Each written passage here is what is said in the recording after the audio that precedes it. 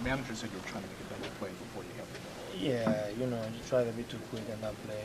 You know, that's what happened. That's that's I think that happened in that play because I, it's not. It's kind of impossible to make a double play without playing a guy wrong. You know, the only thing they have to do there uh, is just make sure one.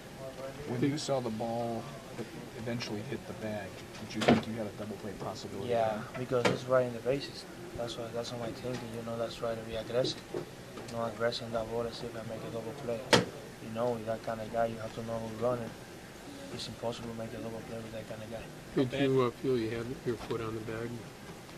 Yeah, I'm gonna go come by and see the replays, and I think I have the ball, but I have the ball and the, I got the ball in the hand, but the ball is still on the ground, and my feet is still on the bases. You know, I don't know. I I think that's that's the that's the reason they call it safe. You know, you have the ball. I don't have it now. Not the ball up yet.